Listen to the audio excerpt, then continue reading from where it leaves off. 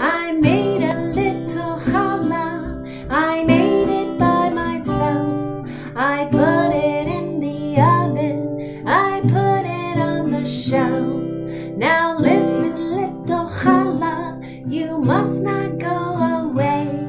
I need you for the Shabbat. So please be sure to stay. I didn't mean to touch it, but boy, it looks so nice. Mm. I took a little nibble.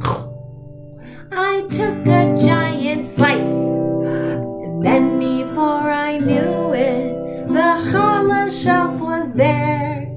There wasn't any challah. The challah was not there. Where is it, you guys? You ate it.